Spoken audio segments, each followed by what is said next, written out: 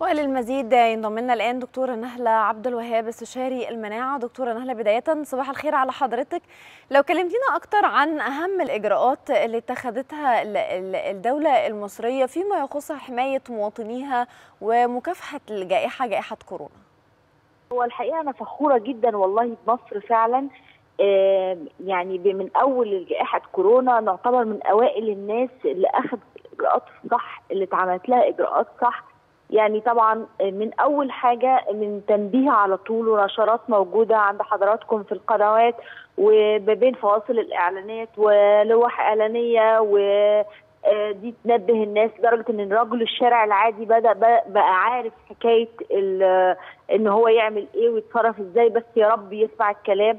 آه ليه بعد كده آه بدأت الحاجات الموجودة الحاجات العلامات اللي موجودة في الأماكن عشان خاطر لو يقف آه طابور مثلا يدفع كاشير أو يدفع الكلام دوت موجودة آه لتوفر اللقاحات اللي اتعملت مؤخرا. توفرها الحمد لله بنظام كويس. وأنا الحقيقة متابعة موضوع اللقاحات إن حتى الناس لما اشتكت إن يعني بدأ إن في ناس مثلا في تزاحم أو في كذا بدأوا يكتروا أماكن اللقاحات لاكثر من مكان.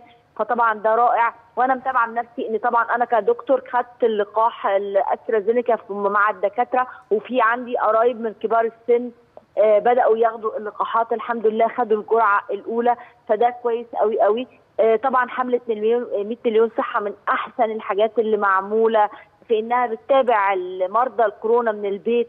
فدي حاجة اللي هم حالاتهم يعني لا تستدعي دخولهم المستشفى فانهم بيسجلوا أرقامهم وبيتابعوهم من البيت حاجة ممتازة جدا طبعا.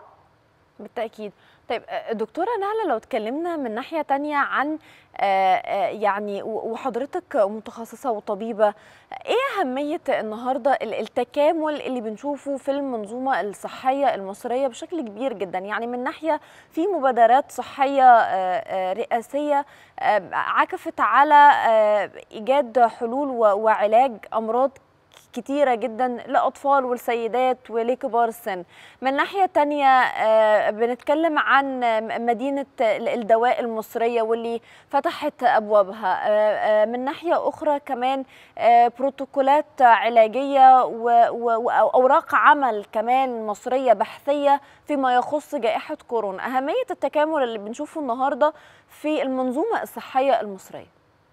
هو بصي أصل أقول لحضرتك حاجة يعني أنا دايما مع إن يعني أي حاجة تشتغل زي البازل كده.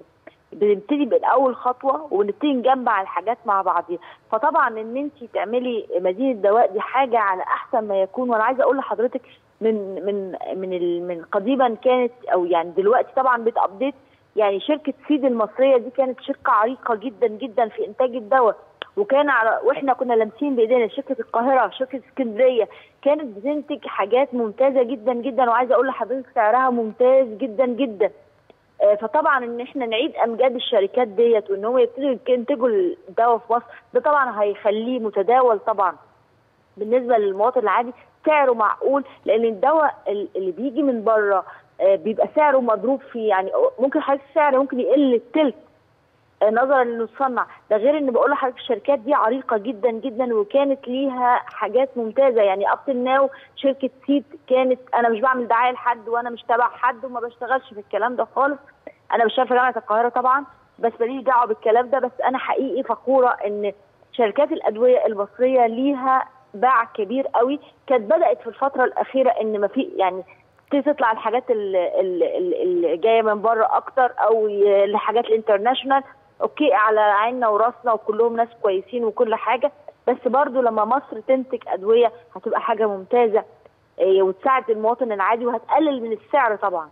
بالتأكيد. طيب طيب دكتورة نهلة هتكلم معاكي كمان في نقطة مهمة جدا مع اقتراب الشهر الكريم بعد عدة أيام وحضرتك استشاري مناعة إيه أهم النصايح اللي تحبي توجهيها النهارده للمشاهدين علشان يعني يقدروا يقووا مناعتهم و... ويقضوا الشهر الكريم في صحة وبشكل يعني يحميهم من فيروس كورونا؟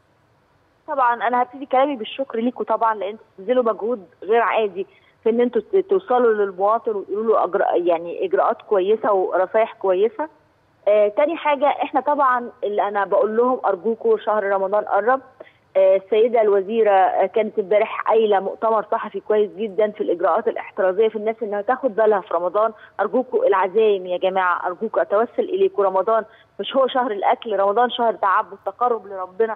وما أحسن من الواحد يتقرب لربنا في إن هو يقعد مع ربنا ويعبد ربنا. مش شهر أكل مش شهر شراء بزيادة مش شهر تزاحم على كل حاجة. آه العزايم لو لو يعني تبقى في أضيق الحدود وفي أماكن مفتوحة على قد ما نقدر نلتزم بالتباعد مع بعض على قد ما نقدر. آه نلتزم دايما إن لو أي حد تعبان أرجوك اتوسل لكم ما يخرجش من البيت. آه لو حاسس ان درجة حرارته عالية ما فيش داعي يخرج من البيت ما فيش داعي يحتك ما فيش داعي أنا عندي برد لازم هاخده على رجلي. لا ما فيش حاجة اسمها كده. دلوقتي أي برد أنت كورونا إلى أن يثبت العكس. آه شرب المية من حاجة الممتازة جدا. عايزه كوباية مية كل نص ساعة من الفطار للسحور. آه الصيام رمضان بيقوي المناعة مش بيبوظ المناعة. إلا إذا إنه صاحب مرض مزمن الدكتور بتاعه شخصيا عرف حالته هي شخصية مش مجرد إنه سمع فتوى من بعيد أو إنه سمع الطبيب بيقول من بعيد طبيبه الخاص اللي عارف تحاليله اللي عارف فحوصاته قال له يفطر أوكي يفطر. أصحاب الأمراض المزمنة اللي مسموح لهم بالصيام يكونوا مظبطين تحاليلهم وفحوصاتهم قبل ما ي... قبل ما يقدموا على ال... على الصيام. طبعا ده مهم جدا جدا.